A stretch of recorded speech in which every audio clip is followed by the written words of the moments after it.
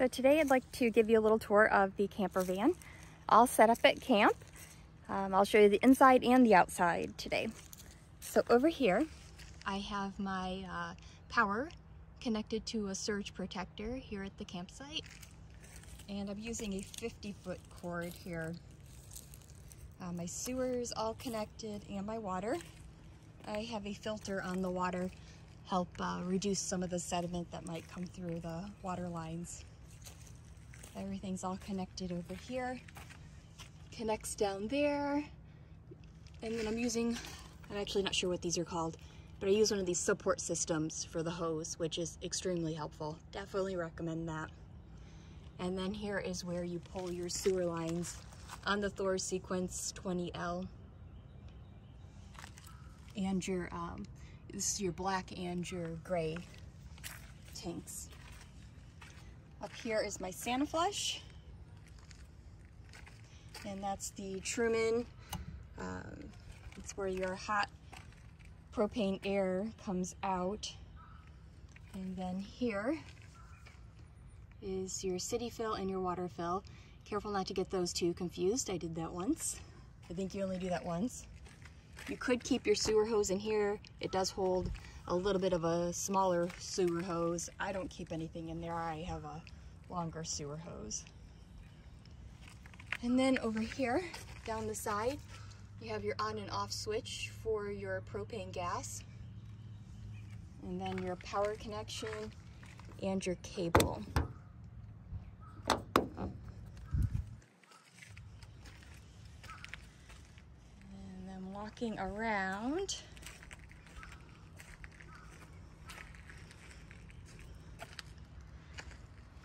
I do have um, on the back here a cargo carrier that I added on to keep all of my cooking and all of my hookups back there.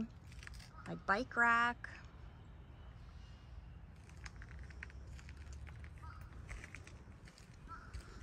And then I have my awning out today.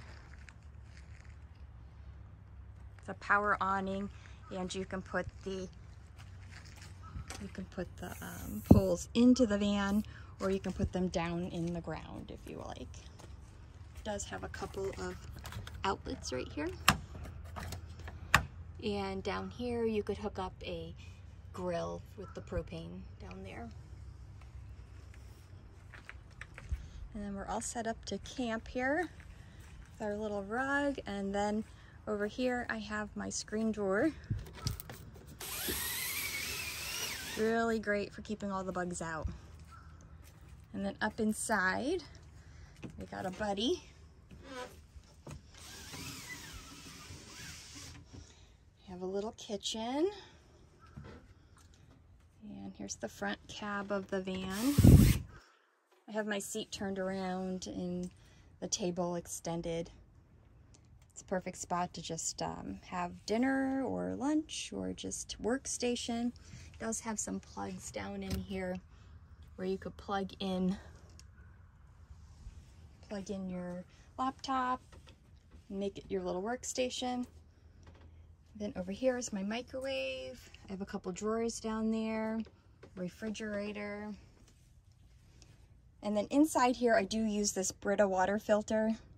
So I have uh, drinking water and then I have a Brita water bottle as well my little Keurig, little slim Keurig, has this pop-up uh, plug center here, so you can also charge and uh, plug in. And then up front here, I have bought a cooler, keep all my drinks and stuff in. And then I just have an ice pack that I have in my refrigerator. This has a little freezer. And then I have an ice pack up in there. So I just swap out the ice packs every day and this um, cooler keeps everything nice and cool. And then over here I have my bed set up on the right. And on the left I have it set up as a sofa. A little TV. The TV does pull out. You just pull this little cord and then you pull your TV and your TV comes out. And you can turn the TV so you can see it from this direction or you can turn the TV so you can see it when you're sitting over here. And I think you can actually turn it so you can see it outside as well. Yeah. And then under here, which I won't pull up at this time, it does have storage. Um, I've added these snaps on. Well, actually my dad added the snaps on. Keep these cushions from sliding all around.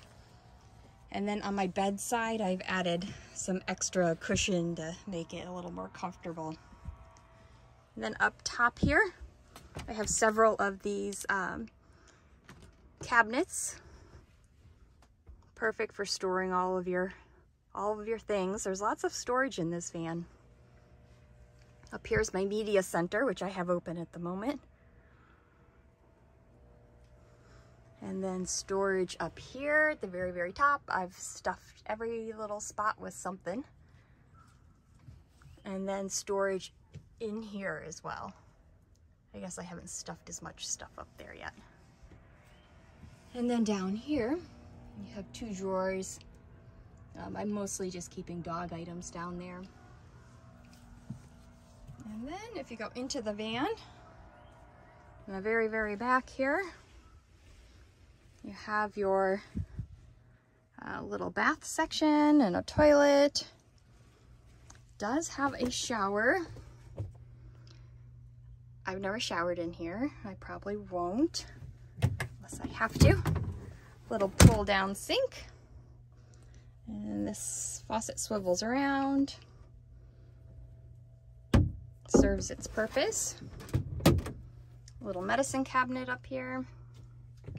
And then the doors, the doors do slide together and latch. And then you have your wardrobe closet.